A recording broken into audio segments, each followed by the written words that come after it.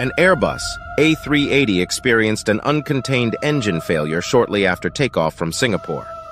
Remarkably, the skilled crew managed to return and land safely. There were no fatalities among the 469 occupants.